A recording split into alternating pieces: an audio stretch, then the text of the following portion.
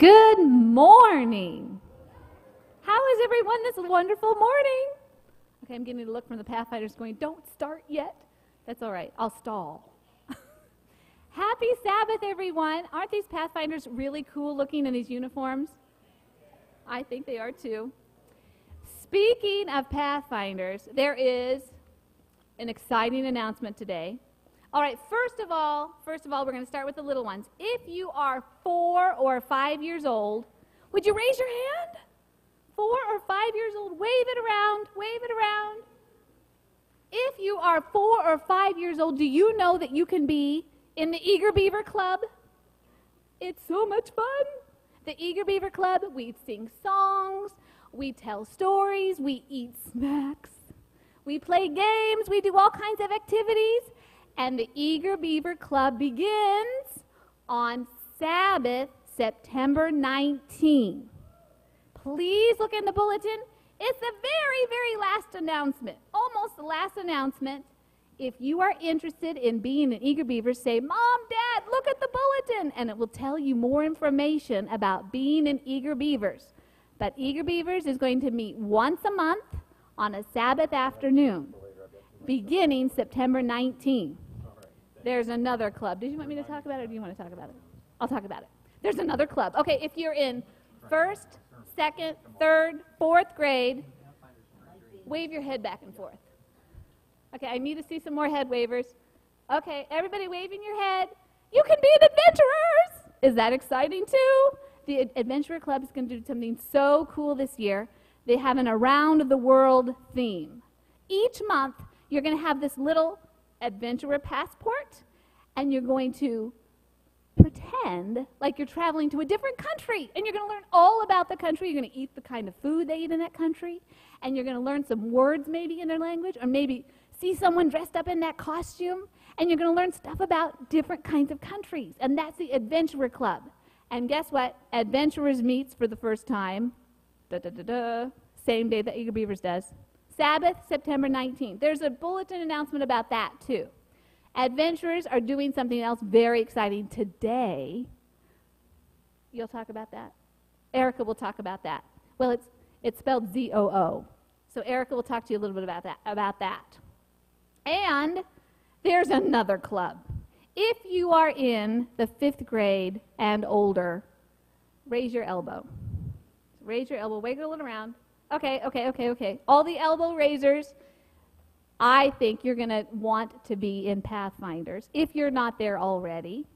And the Pathfinders are going to have a really special thing later on today, so I won't talk much more about that. But if you're interested in being an Eager Beavers, Adventurers, or Pathfinders, please look at your bulletin, and that will give you the names and the phone numbers of people who you need to call or contact. Eager Beavers are going to have registration forms in the lobby. Adventurers will have uh, registration forms in the lobby, and the Pathfinders will let you know where their registration forms are. Another announcement. How many of you know what cantata is? Oh my, it's a very exciting time here. If you are in the cantata, if you like to sing, if you even like to lip sync, I think they'll take you. Please come to the choir potluck today. It's after church, and if you did not know there was a potluck and you just showed up and you're ready to sing, you can stay and eat, but you have to sing. So, stay for the potluck, come to the cantata practice, which is right after the choir potluck today. So, stick around if you are a singer or if you even sort of kind of like to sing. Um, in your bulletin, you will see that there's a second reading for transfers to Chapel Oaks Church. Isn't that the most wonderful thing when people transfer in? I'm very excited about that. Zumba and Emma and their little baby are, are transferring in from St. Louis. And Oscar, V, and Zuzu are coming to us from Louisiana. Suhair is coming to us from, Lo- is it Lodi or Lodi? I think it's Lodi. Lodi. David is coming to us from Caldwell. Can you raise your hands? Um, no, it's not raise your hands. What is it called? First reading. First, what's it called? First motion. First motion, motion. Okay, second motion. Okay, I think it's been voted. Thank you. Thank you very much. Erika has an announcement now.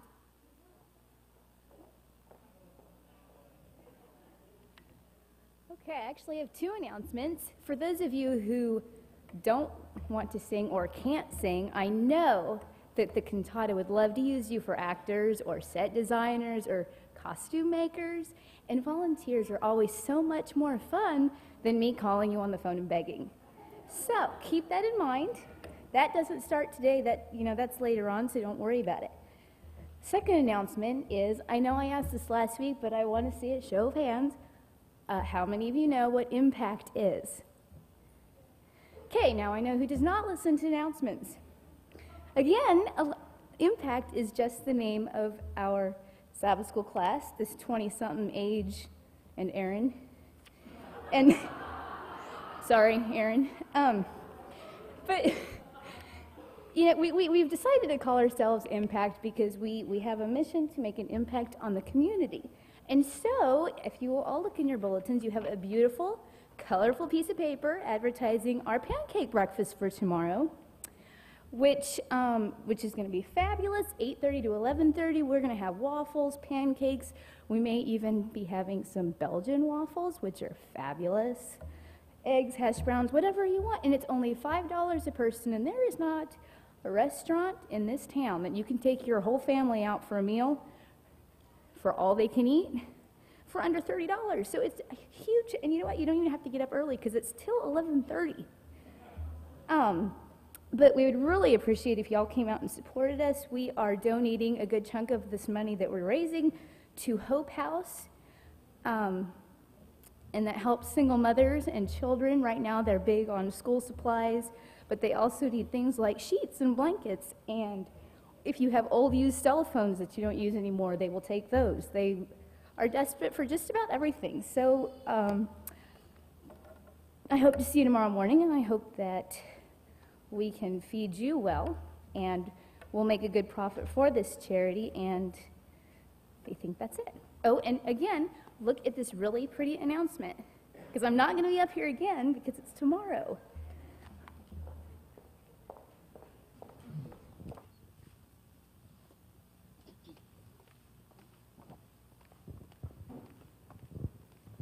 Good morning and happy Sabbath. This is the day that the Lord has made. Let us rejoice and be glad in it. Sing with us this morning.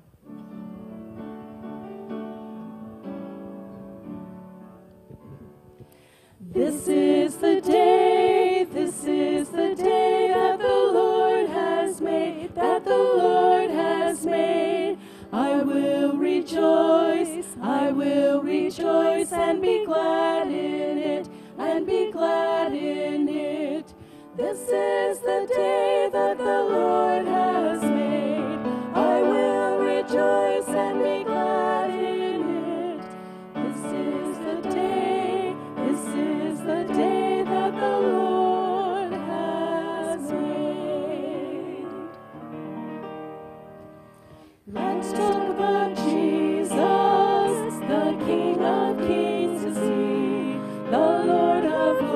Supreme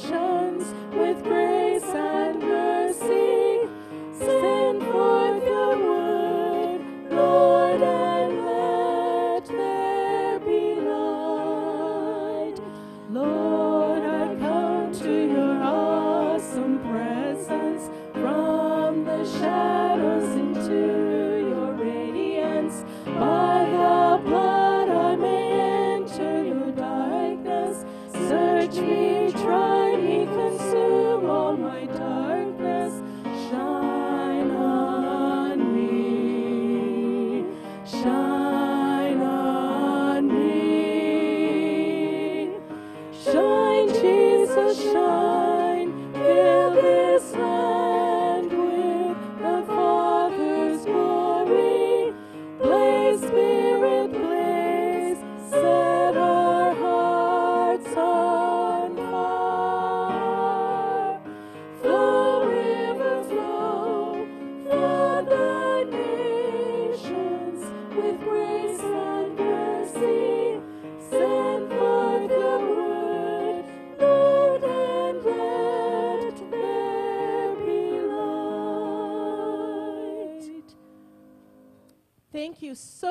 To our Heavenly Father who made such a wonderful world for us to live in and who saved us by his grace. Jesus, how I love your name.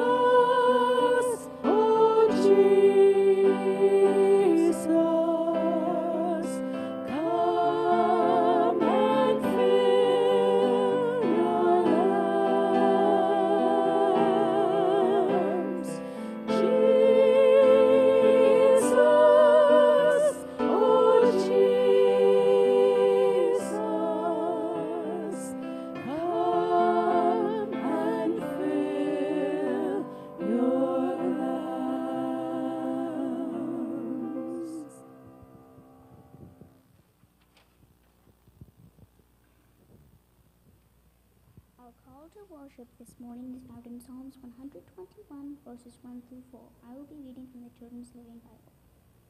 Shall I look to the mountain gods for help? No, my help is from Jehovah, who made the mountains and the heavens too. He will never let me stumble, slip, or fall, for he is always watching and never sleeping. Will you bow your heads with me? Dear Jesus, help us always to look to you for help.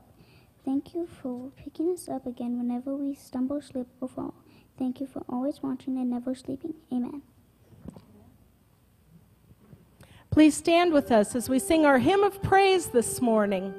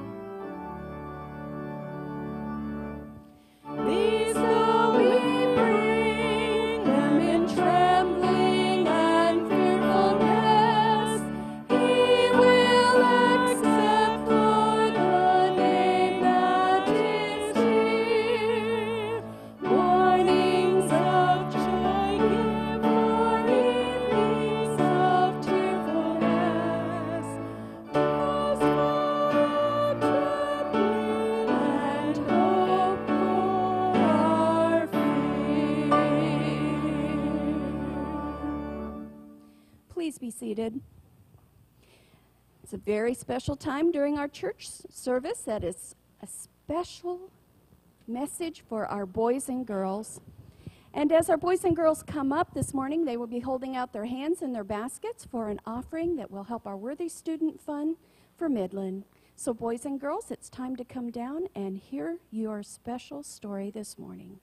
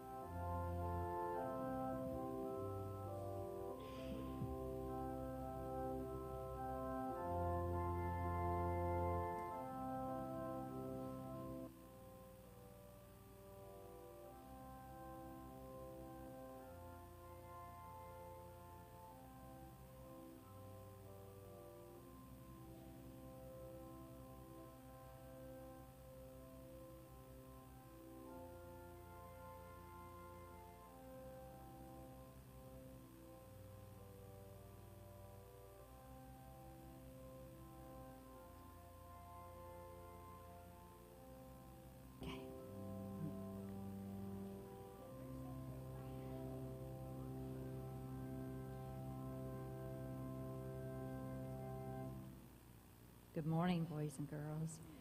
This is the best part of Sabbath for me. I love to come and see all these wonderful smiling faces. I have a story for you today. Who knows what this is? It's an egg. How many of you had an egg for breakfast today? Did you? How did you have it? Was it fried? No. You had a fried egg? Was it boiled? Can I crack it? Well, we'll see. And there's all kinds of ways, aren't there, to have eggs?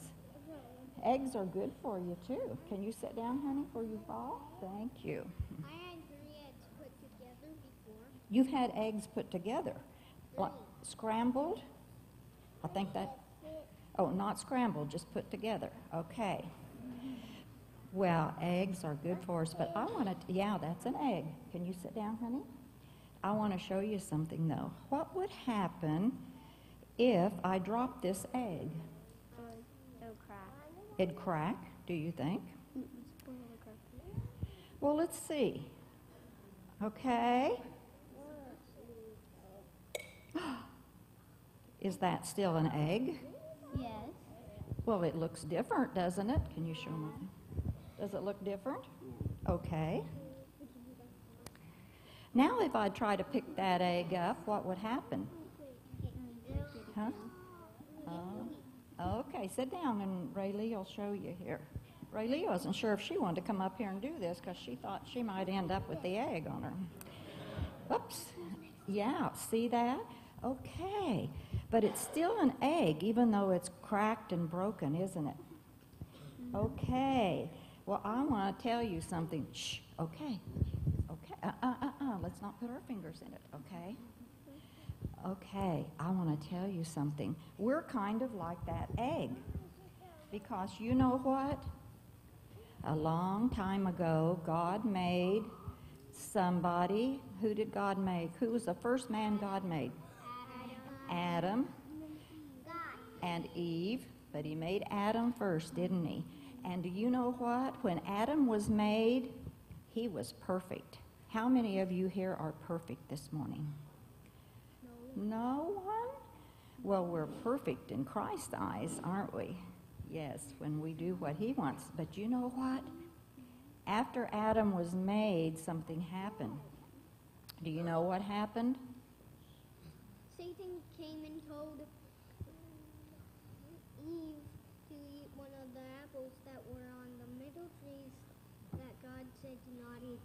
That's right.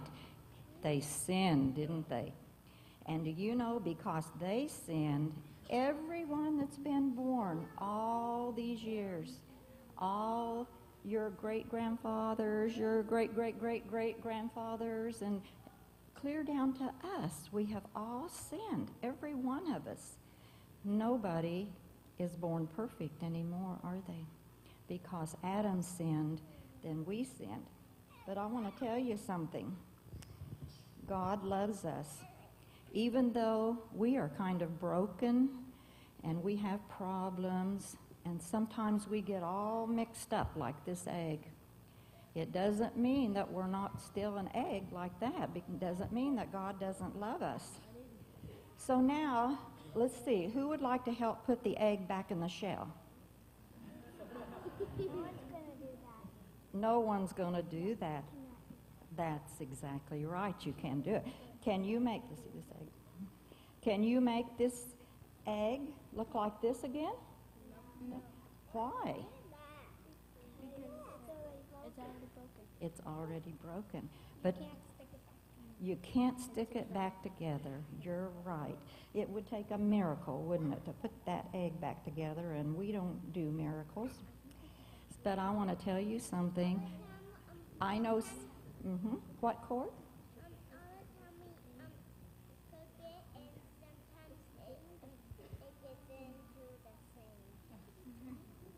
I want to tell you something, though. I know somebody, boys. I know somebody that does do miracles. Do you know who that is? Jesus. Jesus does. Right. He did a miracle when he came to this earth. He, it was a miracle when he went to the cross and he died for us. And do you know, just like it would take a miracle to put that egg back to look like this egg, God can do that.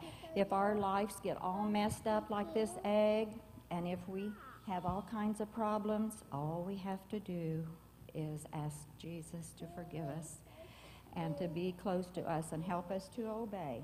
Okay? And that's how we can become a good egg just like this again. Okay? Thank you for your help today.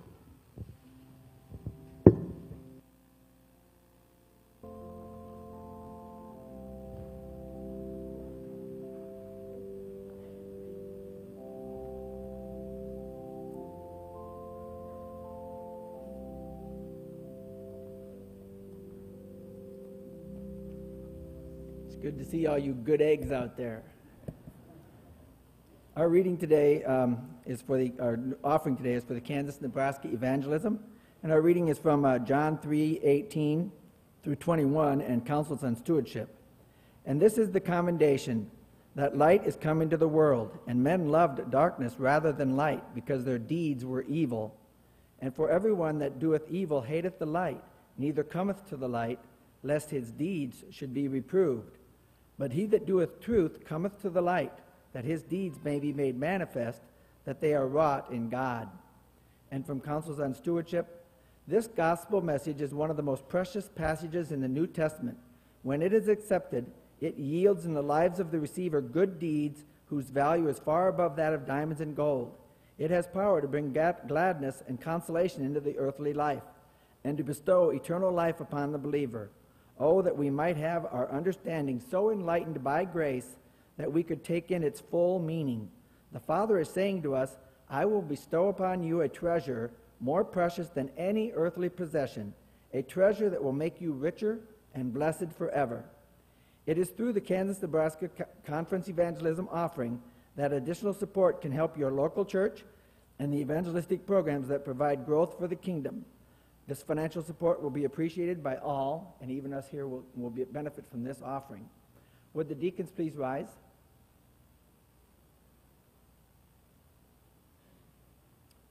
Let's pray. Heavenly Father, we're so grateful to have this local church here and the offering that we give today, the fact that it will benefit us and others in this area. Lord, we know that you are looking out for everything that's best for this area and for the people involved. And we just pray, Lord, that this money will further your ministry, bring others to know us, because we know you, Lord, and we want them to see you. In Christ's name we pray. Amen.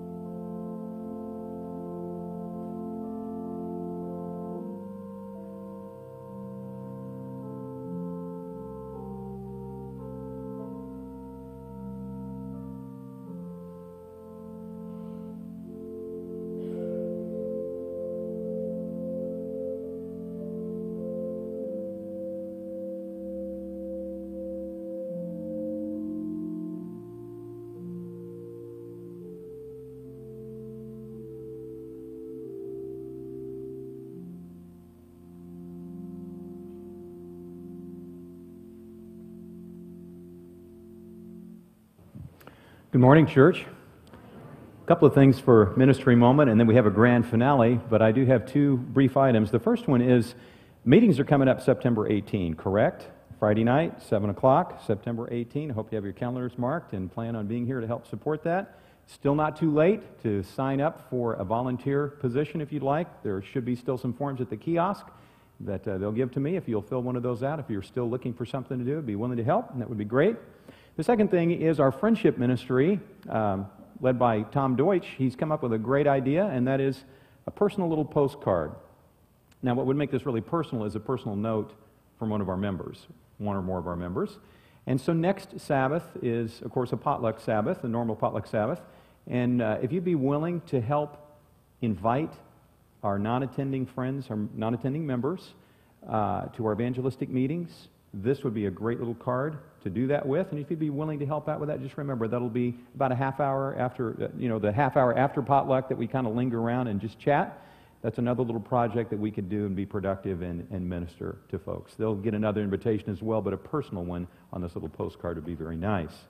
The second item has to do with our Sabbath school department, and I'm, I'm just I'm going to make a plea today, and, it, and it's kind of a desperate plea because our Human Resource Committee has really tried to find someone to fill the Cradle Roll 2 leadership position.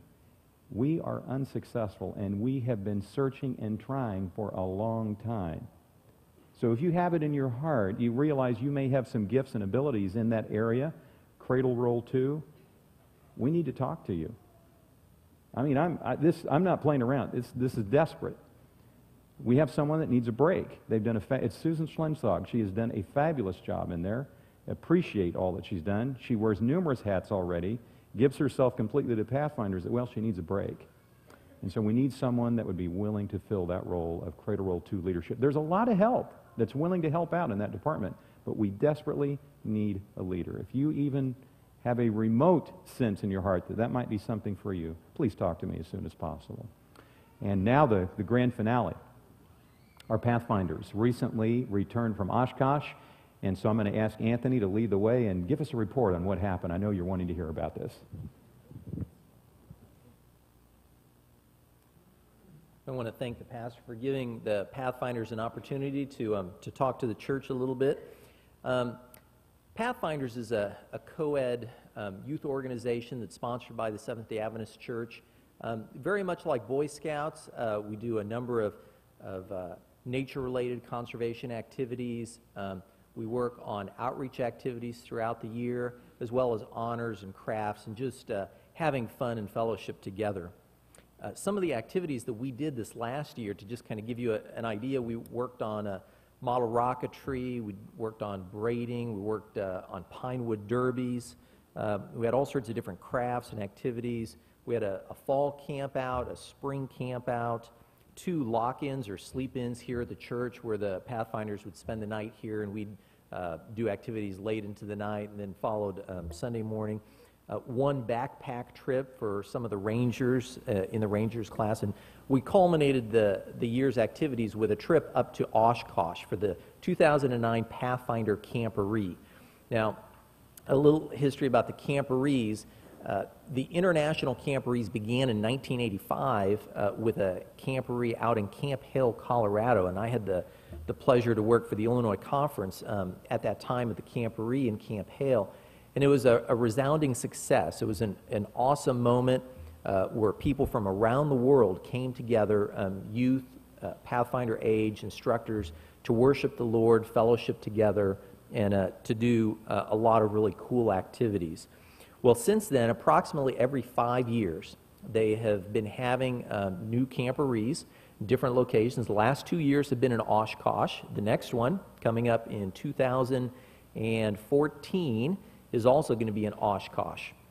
And now a camporee, uh, this last camporee here up in Oshkosh, over 35,000 people from around the world came together. It was just an awesome experience of the evening programs. Uh, you know, just like if you can imagine Arrowhead Stadium just filled with um, Seventh day Adventist youth and instructors, all praising God. Uh, just awesome experience. Um, anyway, we had a lot of different activities throughout the week. Um, honors and crafts that would be very difficult for a local club to sponsor. I know we had three of our Pathfinders participate in the model railroading honor, and I was talking to the um, volunteers that were manning that booth. Uh, they were either from Kentucky or Tennessee, and they shared uh, with us the fact that just right there in their little area where they were running this class all week long, they had over $2,000 of, of model railroading equipment. And, you know, something like that is just, you know, unless we had someone that was really into that activity, we just couldn't do that. So the whole place was filled with things like that. It was a, a great opportunity. Uh, the evening programs uh, this year was on, this, on the story of Esther. And the theme was courage to stand. And, uh, you know, we all need courage to stand up for God's truth in these times. We had 21 youth and 14 adults, which means we had uh, a 1 to 1.5 ratio, which is really good. It may sound like a lot of adults, but um, uh, on the way back from Oshkosh, I had a chance to visit with one of the leaders from a, a club out of, um, I think it was Riverside or San Bernardino. And she shared the fact that they had 40 people and only eight adults. And uh, before I even said anything, she shared this fact with us and said, Boy, next time we do this, we need a lot more adults. It just wasn't enough to cover um, that many kids wanting to do all the different activities that were going on. Now, we, we wanted to try something a little different this year. We decided we'd take the train. Okay, Amtrak, you know, unbeknownst to us at the time that we were going to do this, apparently they don't really run a very tight schedule. So, leaving Kansas City, we were nine hours late. So, our supplies and tents and everything were almost already up there by the time we even got around to leaving Kansas City. So, you know, being a Pathfinder leader, you know, one of the prerequisites is you've got to be flexible. You just got to go with the show and, you know, not get stressed out over things. So we ended up, um, Kendra Murray had some contacts through her business. We were able to get some very uh, inexpensive but very nice hotel rooms in Chicago. We ended up um, changing our plans midstream, spending the night in Chicago. Then the next day we were going up to Noah's Ark Water Park, but we were going to leave from Oshkosh to go down there it didn't make any sense to drive up to Oshkosh and then backtrack a couple hours. So from the hotels, we went directly to, to Noah's Ark Water Park. Um, we didn't get into camp for probably about 24 hours later than when we expected, but we had some great neighbors, the Topeka Club, West Lenexa, they were camping near where we were. They chipped in when we got to camp. All our tents were set up. It was uh, just a real blessing to have them there. Um, and just a, a little bit about the site. If you can imagine 35,000 people all camping, okay, the logistics of just simple waste removal, you know, for that many people. It, it really is, uh, you know, it took thousands of people working together behind the scenes to try to handle all the logistics involved with this, um, this episode.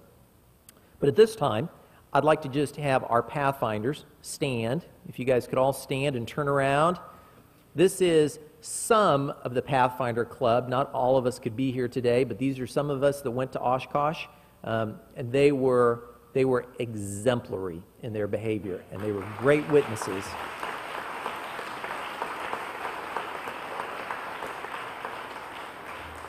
Okay, Pathfinders, you may be seated. Okay, now I'm going to just take a moment to recognize some of the adults. Okay, now these adults, uh, okay, with 35,000 people wanting to take showers, most of us on a regular basis, some of us had to be encouraged to take showers on a regular basis. But the, you know, everyone wants to take a shower at 7 o'clock in the morning or at 6 o'clock in the evening. So we ended up taking showers at very odd times during the day. You know, I know a lot of the guys would get up at 5 o'clock, and by 5 o'clock, the lines w- were not really that bad for the guys, so we could get in. The girl showers, I don't think there was ever, you know, a time when there was no line to get into them. But we had adults that needed to go with the kids to the showers, uh, needed to go with kids pin trading, to, to all the different activities. We had teams that were going sailing, teams that were playing basketball, teams that were working on all sorts of different honors. And at that time, we had to grab different adults. Okay, you go with these, you go with these. We signed out. People went to their activities. It came back to camp for lunch, split back out. We all kind of met together for the evening program again.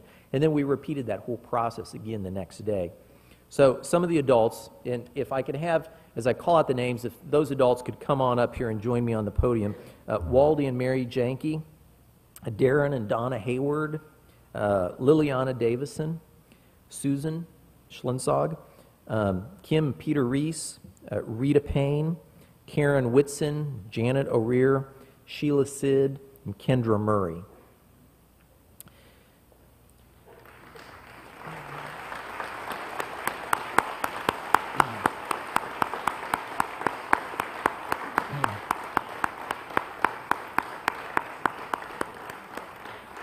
These people were willing to give up a week of their hard earned annual vacation to join us um, on this trip and experience all the, the joys and benefits and um, whatever of this trip. Uh, they, they, they chipped in cooking, hauling trash, running carts down to pick up fresh water, taking wastewater down to, to be disposed of. They worked very hard. I know the Pathfinders have each been given a, a sack with a special uh, token of our appreciation for um, these adults. And if the Pathfinders can come up and give the sack to the individual whose name's on your bag.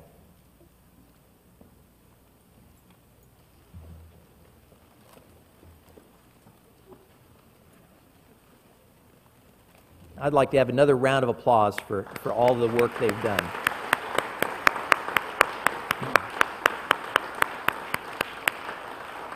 Thank you, guys.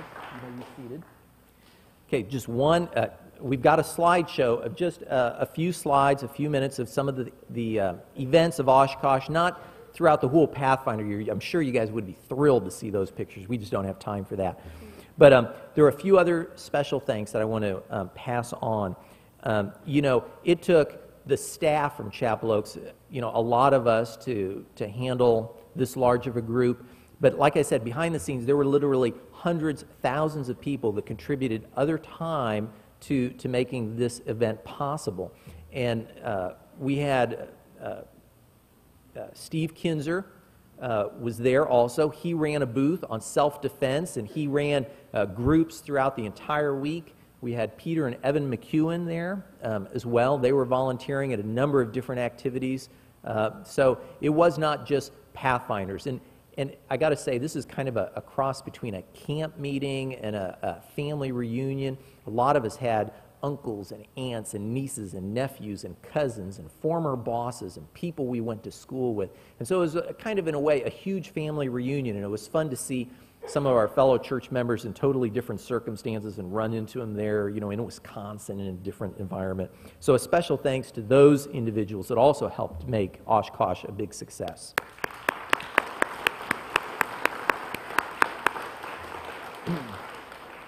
and last but not least, for all those church members that have bought pizza, bought cookie dough, bought berries, and in some cases just out and right gave us money. Thank you so much. Uh, the club has needed that and appreciated that.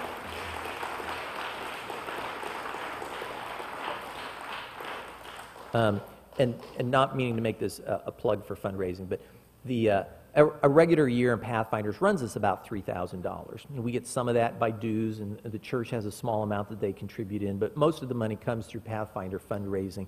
Oshkosh itself cost us um, uh, approximately $11,000, and uh, we've got five years to work on raising that money. And I know a lot of the kids said they enjoyed it so much that they want to go again next year.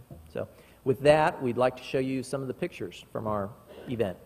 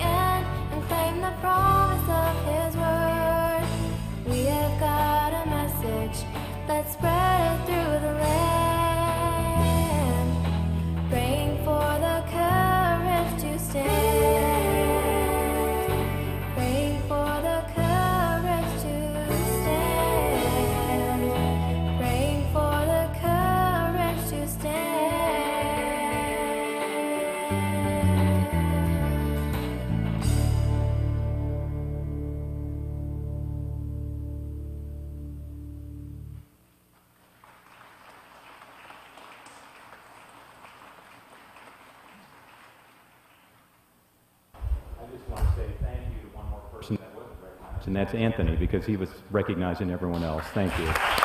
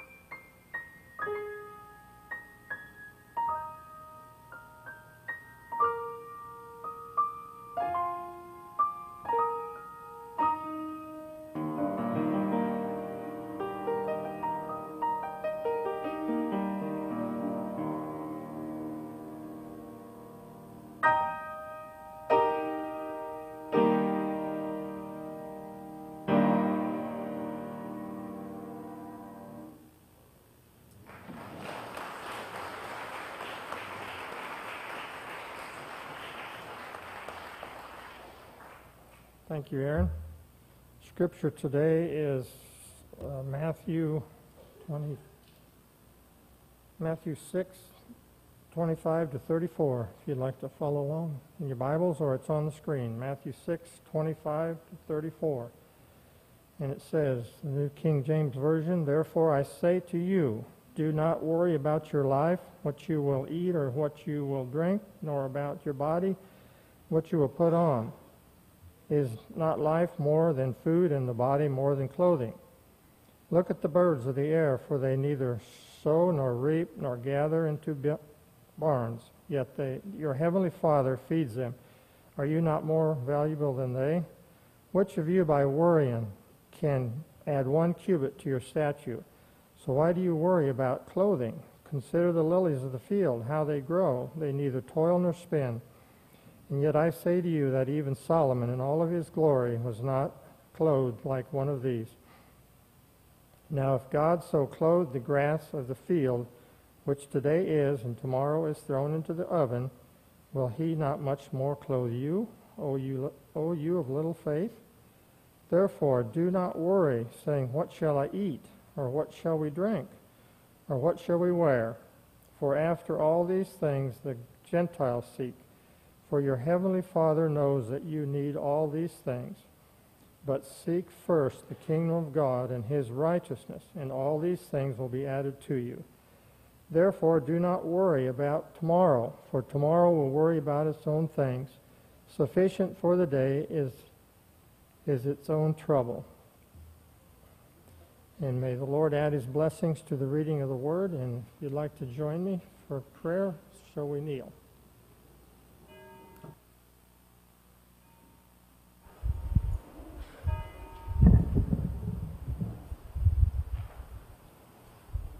Dear, dear loving Father, you are the source of all love and all life.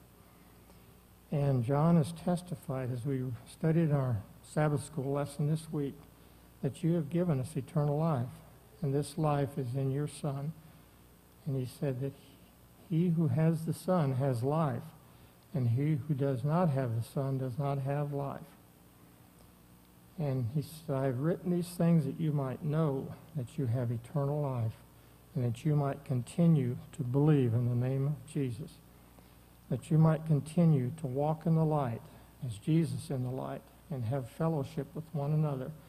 And the blood of Jesus cleanses us from all unrighteousness. And he also gives us confidence that if we, whatever we ask, according to his will, he will hear our prayer. And Lord, we bring to you now uh, things that are on our heart. I know there's different uh, various needs in our congregation, and I would just ask them if they would like to just silently uh, talk to you about that, and uh, that you would uh, hear every prayer I know. And we thank you, um, to Lord, for the uh, the victories that you've given uh, in our lives over uh, temptation and uh, those things that uh, um, that we've been wanting our character to be a little more like you. And we just pray that you'll continue to work in our lives. And uh, thank you for our pathfinders, Lord, and all of our young people. Thank you that you've given traveling mercies and uh, brought them back home safely. Thank you for those that have been out of work, that uh, we, some of them now have employment. And there are others that still need uh, employment, Lord, so we pray for that as well. And uh, we also bring to you those that, uh, that need healing. Francis in the hospital, Lord, I just pray that you'll be with him in a special way today. And Charlie and Eileen were not here today for whatever reason. Please be with them and continue to keep them encouraged and uh, strengthen them too in your and uh, their journey, Lord. And, uh, I'm sure there's other needs too, Lord, that you know all about, and I just bring them all to you today and ask that your will be done. And now, as we uh, prepare to the message, hear the message that you have given our pastor, we pray for mighty outpouring of your Spirit upon him, and uh, your Spirit would breathe upon each one of us, too, that our hearts would be open to receive the message, and that uh, we would go from here to, um, again, live, do our best to live for truth and to um, live our lives in a way that will honor our Savior. We pray in Jesus' name. Amen.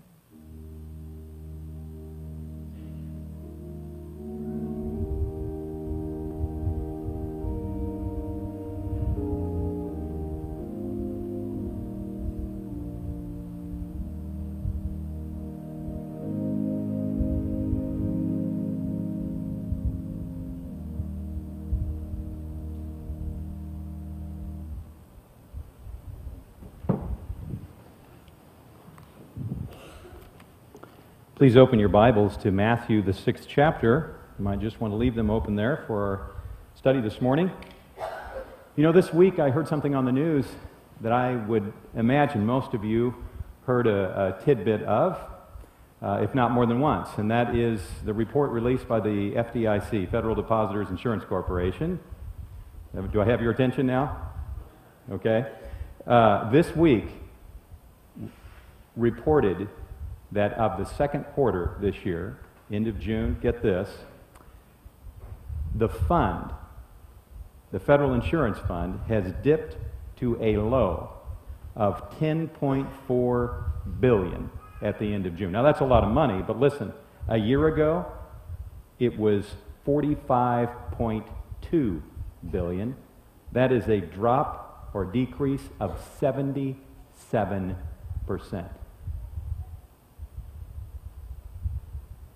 Many people in the world are worried because of that.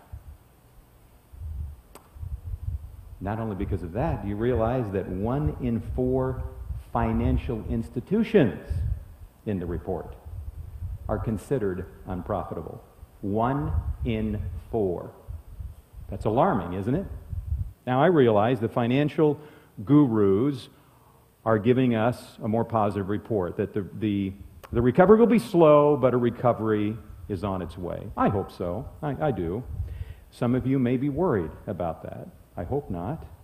I, I really hope not. I hope your confidence is in something greater than the financial future of America. Amen? Something more secure and more certain. You know, I'm about to the point that I believe financial predictions are about as reliable as weather forecasts. Um, the dictionary, we're going to talk about worry today. The dictionary defines worry like this disquieted, afflicted with, or marked by anxious uneasiness or trouble or grief. Apprehensiveness, mentally upset over possible misfortune or danger, and etc. Well, you know, money is what a lot of people worry about in the world today, isn't it? Top of a lot of people's list. Money, right at the top of it. What is it that leads you to worry? Is it money? Is it uh, terrorism? Uh, maybe it's the layoffs at work. You know, that's happening a lot, isn't it? The uncertainty of work in this economy. Guns, drugs at school, you know, numerous things we could worry about today. And at times we might feel like we have a right to be worried about these things. But you know, someone wrote a book on this whole subject of fear. It's been out for some time called Scared to Life. I've not read the book, but this excerpt really looked interesting to me. The man's name, the author's name is Douglas Rumford. And in his, in his study, or the study that he cites in his book, reasons we shouldn't allow fear to rule our life. Now, get this, this is pretty good. 60% of our fears are totally unfounded, 20% are already behind us, 10% are so petty they don't make any difference anyway, and 4 to 5% of the remaining 10% are real, but we can't do anything about them anyway. So, worry sounds like a rather profitless uh, endeavor, doesn't it? Profitless use of energy because there's only 5% remaining of the problems or fears or worries that we have that we could actually do anything about. There's a Swedish proverb that goes like this Worry gives a small thing a big shadow. I like that, don't you? In the light of, of uh, what Mr. Rumford uh, cites, I can see a lot of truth in that, can't you? Someone printed these words at the bottom of the most tranquil, peaceful nature scene imaginable. At the bottom, they wrote, Today is the tomorrow we worried about yesterday. A lot of sense in that statement. Today is the tomorrow we worried about yesterday. And it's not as bad as we thought, right? Is God's goal, I have a question for you, is God's goal then that we be emotionless about issues? That we are that we be totally and completely carefree? I've had to wrestle with that a while. I may not have all the answers today, but I think I'm at least on the edge of something that's important when I consider this with you. You know, a careful study of Jesus' own life and the apostles does reveal that they did have great cares and concerns and burdens that they carried. Now, what gets confusing is at the point that, well, when we begin to try and define worry in a detailed matter. Some people might call it worry if you have a care or concern. Some people would define that as worry. Others would say, no, worry is sinful, so we can't go there. So, a large degree of how you define worry may determine how you receive what I'm about to share with you. And I'll respect if you're on a different page that worry is quite different than care and concern. I am. Some of you may interpret them the same way. I'll respect your view if that's the case. It, some may feel like this is just a semantic thing, just, just a play on words. I think there is a little bit difference, and I'm not alone. There's a worry expert. Well, you know, there's an expert on everything today. Uh, Dr. Chad Lejeune. If I pronounce that incorrectly and you know him, I apologize, but that's as close as I can come. I want to share a snippet of an interview that I saw with Dr. Lejeune. And he is interviewed because they were, the interviewers were intrigued with his book called The Worry Trap. Here's what he had to say in the interview While worrying about someone or something may indicate that we care, worrying and caring are not the same thing. Worriers often confuse the two. For example, consider a mother who worries about her adult daughter and expresses this by calling her several times a day.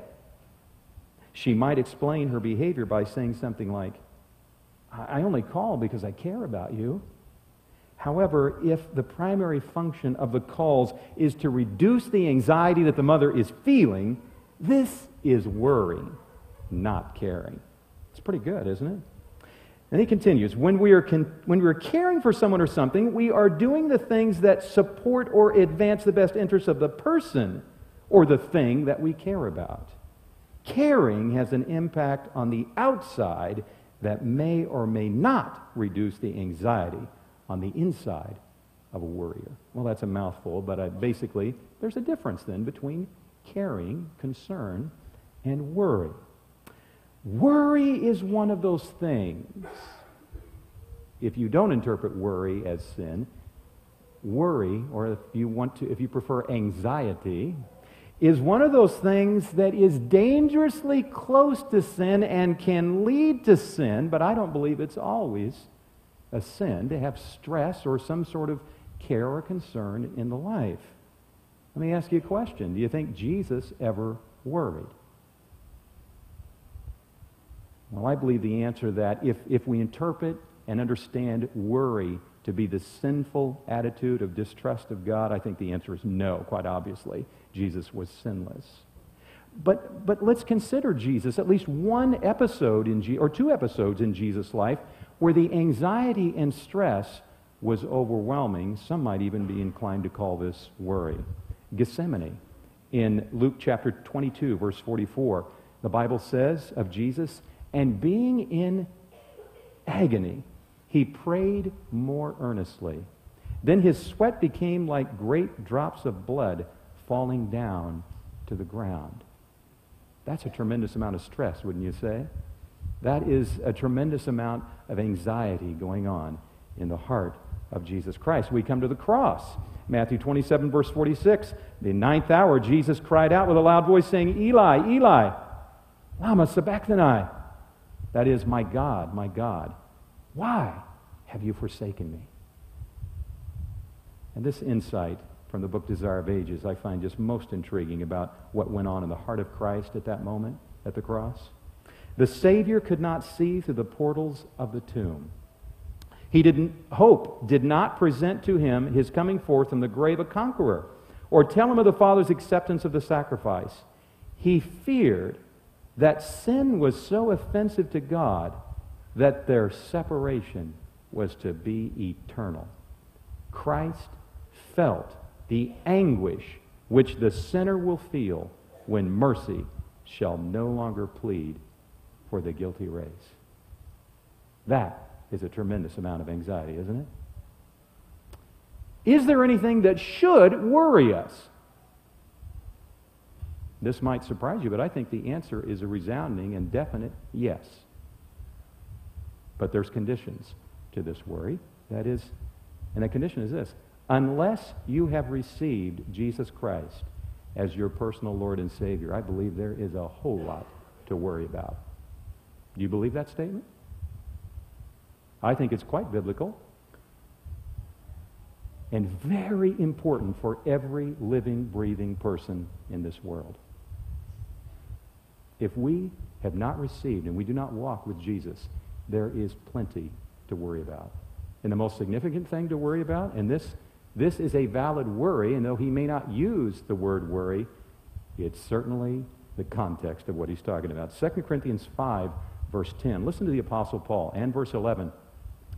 For we must all appear before the judgment seat of Christ, that each one may receive the things done in the body, according to what he has done, whether good or bad. We may not think anyone in this world is watching, but there's an all seeing watcher on the throne of heaven. We will answer for the deeds done in the body. Now listen, verse 11. Knowing, therefore, the terror of the Lord, we persuade men. Listen, unless we have received Jesus Christ as our personal Savior and walk with Him as our Lord and Master, you do realize when we see God and Jesus Christ face to face, if we are in that situation, we have not surrendered to Him. His presence, the presence of His holiness, will be so terrifying and so excruciating in our guilt and our sin, we will welcome the death that falls upon the wicked.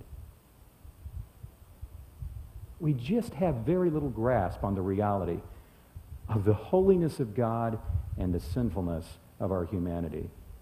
But to those who have not yielded to Christ, they will be painfully aware of that distinction on that day. The good news is, even that kind of worry can be removed if we surrender, receive, repent, and believe. We don't have to live with that fear and terror. But it's also true, it will be there if we refuse the invitation of mercy. Now, beyond that, may I just add today, you know what? There's no better day than today to make that decision. I don't know who you are, and I don't know what the Spirit of God is dealing with in your life, but I do know this. Christ is intensely interested in the personal salvation of every single person in this world. He died for you. He doesn't want you to face him in fear and terror in the day when there's the big face-off. Respond today. Beyond that fear, beyond that worry, I want you to notice with me what Jesus does teach about worry in Matthew 6. Matthew 6, our passage for today. Therefore I say to you, verse 25, do not worry about your life, what you will eat, what you will drink, nor about your body, what you will put on. Is not life more than food, and the body more than clothing? Look at the birds of the air, for they neither sow nor reap, nor gather into barns, yet your Father feeds them. I'm in verse 26, Matthew 6. Are you not of more value than they? Which of you by worrying can add one cubit to his stature? And might I add, physically or spiritually? Certainly, that's inherent in Jesus' teachings. So, why do you worry about clothing? Consider the lilies of the field, how they grow. They neither toil nor spin. And yet I say to you that even Solomon in all his glory was not arrayed like one of these. Now, if God so clothes the grass of the field, which today is and tomorrow is thrown into the oven, will he not much more clothe you, O ye of little faith? Therefore, do not worry, saying, What shall we eat, or what shall we drink, or what shall we wear? For after these things the Gentiles seek. For your heavenly Father knows that you need all these things. But seek first the kingdom of God and his righteousness, and all these things shall be added to you. Therefore, do not worry about tomorrow, for tomorrow will worry about its own things. Sufficient for the day is its own trouble. Unfortunately, the provisions of life are matters that tempt many of us to worry, don't they? The provisions of life. You know, the UN, and for much of the world, this really is a concern, a very, very serious concern. The UN says this year, 1.02 billion people are hungry. That's one sixth of the world population. One sixth of the world has less than 1,800 calories a day to subsist on. Many much less than 1,800, I might add. And the unfortunate thing is, due to the economy, that number is 100 million stronger than it was the year before. 100 million more undernourished people due to our economy and other complex reasons. So, surely we have much to be thankful for today when we think about the matter of provisions, and really, we ought to be ashamed in the face of so many hungry people if we worry too much about provisions, wouldn't you say? Yeah, there's really not an excuse for it right now in our nation. In Paul's letter to Timothy, I believe he really put this matter in perspective. Short little statement in his letter to Timothy, first letter, 1 Timothy 6 8. He says, In having food and clothing, and having food and clothing, with these we shall be content. I do find it interesting. That's what Jesus talked about in his sermon, too. Bare minimums, food and clothing. You know, he didn't even mention shelter. Jesus himself, he said, I, foxes have holes, birds have nests, right? But the Son of Man has nowhere to lay it. He didn't even have a permanent shelter for himself, did he? Amazing. You know what? God has provided not only shelter, food, and clothing for most of my life, but much more than that. How about you? I'm thankful for that, and I'm sure I don't tell the Lord thank you enough for the provisions of life. You know, I'm sorry to tell you, I'm ashamed to tell you, but it's the truth. Especially early in my 20s, after first marrying and, and some, un, some, some uncertainties in my economic situation. You know, I worried so much, I ground my teeth at night. I really did. And the reason, now, they didn't tell me that's what it was, but the reason I'm sure that's what it was, as the peace of God and confidence in His provision grew in my life, the grinding stopped. So I, am I'm, I'm, I'm not a psychiatrist to diagnose something like that or a doctor, but you know what? Just putting two and two together makes perfect sense to me. The worries were gone and the grinding, the bruxing during the night stopped. I used to wear a mouthpiece, this uh, silicone mouthpiece to prevent my teeth from damage. Uh, you know, I was waking Cheryl up. Worry, worry is dangerous. It's an unhealthy thing, this sinful kind of worry. And we need to understand how, how really dangerous this is. It is amazing the things people worry about today.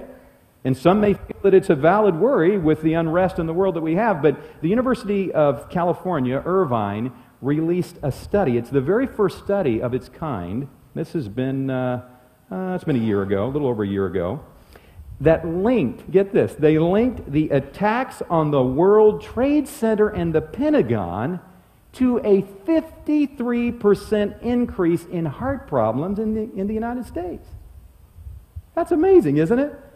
Including high blood pressure and stroke in three years after September 11, 2001. Very first study to link those two things. But you know what? Jesus predicted it a long time ago, didn't he? You remember what he said? Men's hearts failing them for fear of those things that would come upon the earth. Surely that time is here, right? Well, there's good evidence to also to suggest that this, this worry, this allowing stress and anxiety to take over our life in an uncontrolled manner can also cause digestive problems as well as skin problems like hives. But I'd have to say the most important factor we ought to consider as I draw to a close today is the effect worry has on our spiritual life. Sinful worry, okay? When we worry of the sinful variety, okay, we are either doubting God's love for us and personal interest in us, or we're doubting his power. I don't see any other way around one of those two options.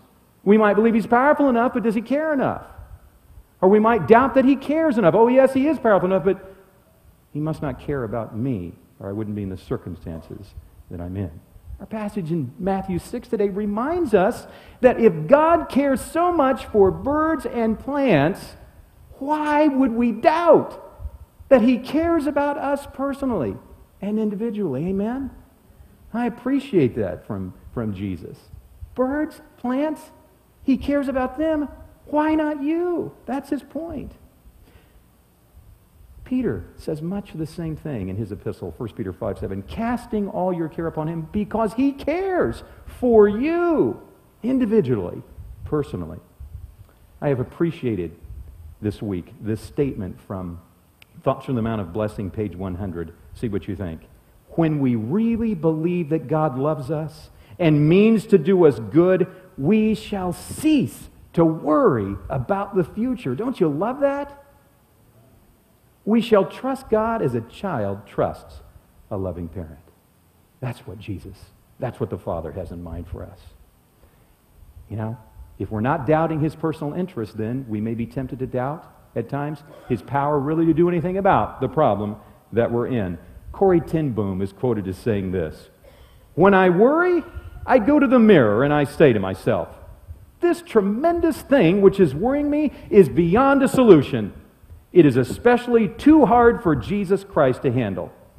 But after I've said that, I smile, then I'm ashamed. Now, we may not say that outwardly, but sometimes by our actions and our words to others, I've been guilty of this too, have hinted that that's the way it is. It's too big for Jesus to handle, haven't we?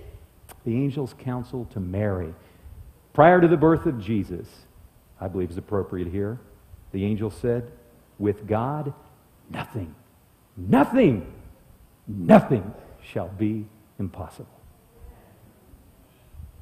The best way to deal with worry, according to Paul, is to replace it. Replace it with something better. Philippians chapter 4, verses 6 and 7. And uh, this will be on the screen from the, new, uh, the 20th century version. Do not be anxious about anything, but under all circumstances, by prayer and entreaty, joined with thanksgiving, make your needs known to God. Then the peace of God, which is beyond all human understanding, will stand guard over your hearts and thoughts through your union with Christ Jesus. Did you see it? The solution to worry? Prayer and entreaty joined with thanksgiving. Prayer and entreaty joined with thanksgiving. What's the difference between prayer and entreaty? They're both prayer of sorts, but I'd like to suggest to you that prayer is not just asking for things. Amen? Prayer is this ongoing communion back and forth between God and the human soul. Christ communes with us. It's two way communication, and prayer is the life of the believer. It is ongoing, it is constant.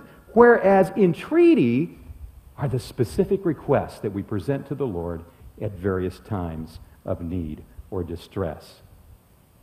Now, this ongoing communion between our own soul and the Lord, I believe this is what Paul has in mind in verse 7. I think it's, yes, it's still up on the screen, where he says, Your union with Christ Jesus. Prayer and faith is the substance of what he's talking about there. That union. In Heavenly Places, Ellen White suggests prayer is the breath of the soul, the breath, that is, of the soul. It's the secret of spiritual power. No other means of grace can be substituted, and the health of the soul be preserved. Prayer brings the heart into immediate contact, get this, with the wellspring of life. I could use that in my life. How about you? Entreaty, or supplication as some versions have it, is the specific request that we make to God in these times of distress and need. Now, both kinds of prayer are necessary ongoing communion and specific requests presented to the Lord. We need both of them. But may I add this? If we have the habit of this constant communion with heaven through prayer, if that's our habit and our practice daily, moment by moment, then when we come to those times of specific entreaty, you know what I believe? I, I think there's good scriptural grounds to prove this. When we live in that kind of communion, is there any change going on in our hearts and in our desires? What do you think? Absolutely.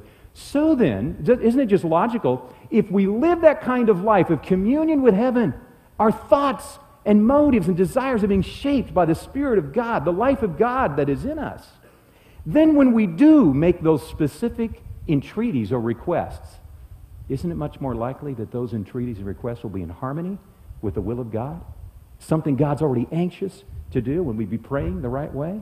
I think the answer to that would be yes. Now, notice, when we do this, prayer and entreaty, here's the result. Verse 7 The peace of God, which is beyond all human understanding, will guard over your hearts and thoughts through your union with Christ Jesus. That sounds like a better option than worry to me. How about you? Years ago, in the pioneer days of aviation, there was a pilot, I don't have the name, but making a trip around the world. And uh, of course, he had to make frequent stops for refueling and safety checks, maintenance checks, and so forth. And on one particular episode of the flight, he was about two hours from his takeoff point, and he heard a strange gnawing sound somewhere in the fuselage of the plane that he was flying. And the more he listened, the more nervous he became because he realized there's a rat in the fuselage and it's gnawing on something. What if it's a cable or control or something important to the flight of this craft? Two hours to turn back, over two hours to the next place he needed to go. He had some reason for a little anxiety, wouldn't you say? So he began to think, what shall I do? What shall I do? And then he remembered that a rat is a rodent. It's not made for the heights. It's made to live on the ground and under the ground. So quickly he began to climb 1,000, 2,000, again and again, up to 20,000 feet. The gnawing stopped. Didn't return again.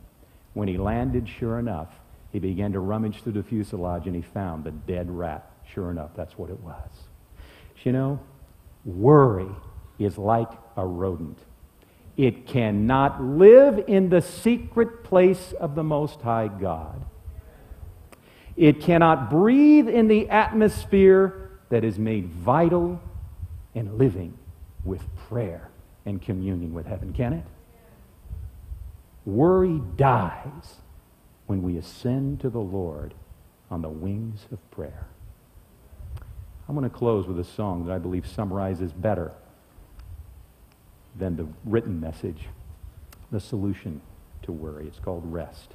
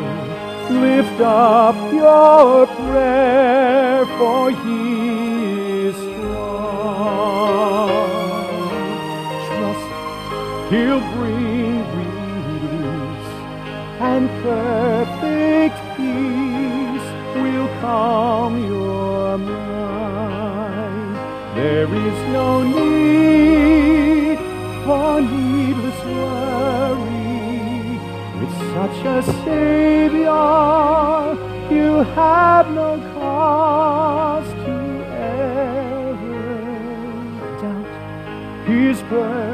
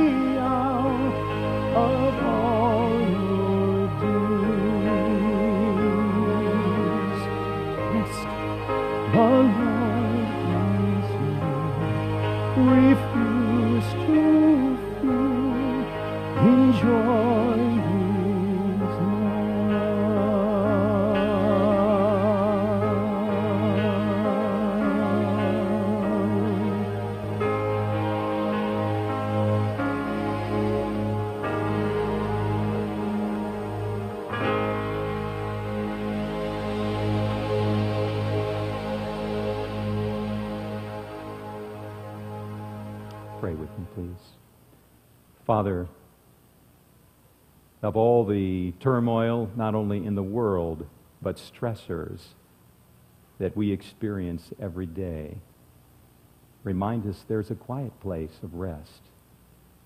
Wherever we're at, there's room for us personally in your presence. I pray that today, Lord, whoever is facing stress right now that seems overwhelming, and it's leading them to the realms of worry, may they find that rest that you've promised in you. Remind that person to pray without ceasing. That in this thing called prayer, there's not only requesting, but there's life from you that flows to us. Teach us in a practical way what that means in our life, Lord Jesus. For we ask it in your holy name. Amen.